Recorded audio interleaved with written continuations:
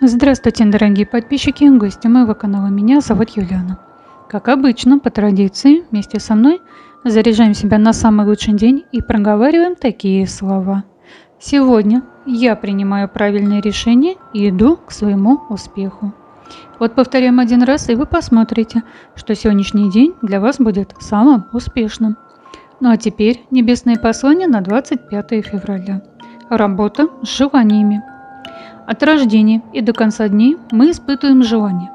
С возрастом, накопленным опытом, приходит понимание, чего мы действительно хотим, а от каких желаний можем отказаться. Возможно, желание не было истинно нашим, а явилось навязанным извне.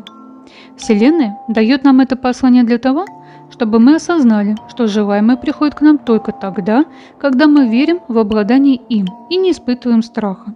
Страдание от отсутствия чего-либо блокирует энергетические потоки, и мы утрачиваем связь со Вселенной.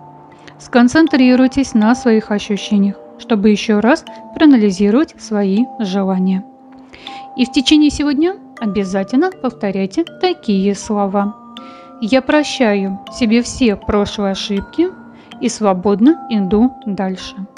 Вот повторяем семь раз, и вы посмотрите, что вы обязательно сможете достичь именно тех желаний, к которым вы всегда стремились.